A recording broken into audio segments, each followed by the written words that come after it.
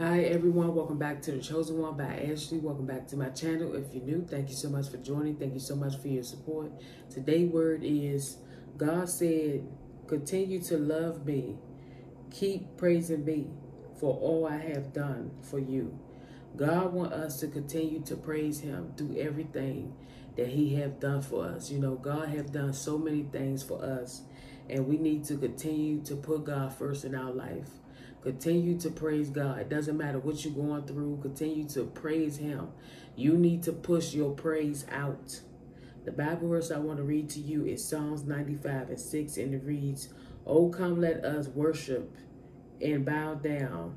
Let us kneel before the Lord. It's time to bow down and worship the Lord. You know, whatever you're going through, you know, sometimes we act like we're going through so much.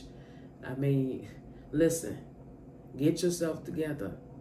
Stop going to God because you just need something from him. Go to God because he's your father. Go to God because you need his help in the situation.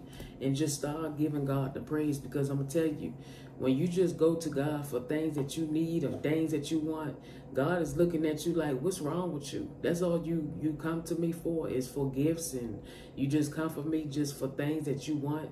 But what about me? What do I want? I want your praise. I want your worship. I want you to bow down. I want you to seek me, and you can't do that. The things that God wants us to do, we need to do better with it. God want us to seek him, and some of us, we don't want to seek. We don't want to pray.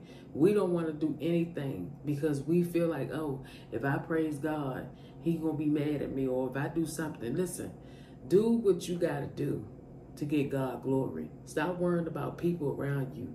I'll focus on our friends, our family. Stop worrying about those people and worry about your soul. If you stay focused on your soul, God will bless you in everything that you need. You need to stop worrying about your family members. Your family members ain't got nothing to do with your soul. We all have to remember we came into this world by ourselves and we will leave this world by ourselves. God want us to do the best that we can every day. You have to learn how to put God first in your life. It doesn't matter what you go through. You understand what I'm saying?